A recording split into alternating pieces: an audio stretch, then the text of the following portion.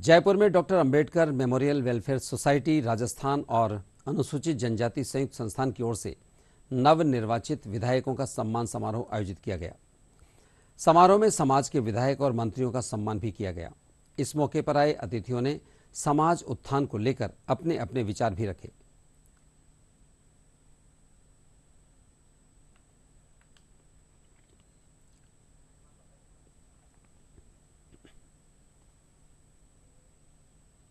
अनुसूचित जाति और अनुसूचित जनजाति के जितने भी विधायक जीत कर आए हैं और जो मंत्री बने हैं और जो केंद्रीय कानून मंत्री अर्जुन मेघवाल जी हैं, इन सभी के लिए सम्मान समारोह का आयोजन किया गया है।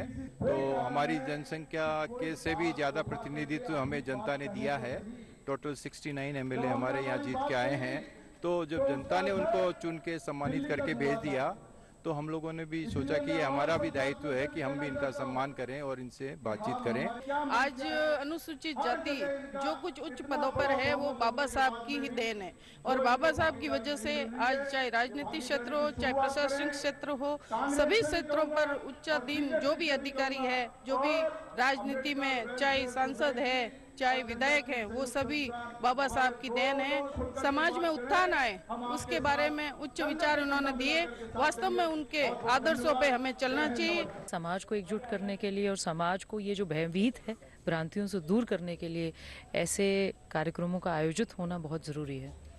जिस तरह की भ्रांति फैलाई जाती है, जिस तरह का एक भयभीत फैलाया जाता है, जिस तरीके के सोचा जाता है कि एस सी से आ रहे हैं, अपनी बात कैसे रखेंगे, इससे बड़ा मंच क्या मिलेगा? जहाँ सारा पूरा प्रदेश की जो एकजुट शक्तियाँ हैं, वो एकत्रित होकर बैठी हैं, इससे बड़ा मंच नहीं मिल सकता।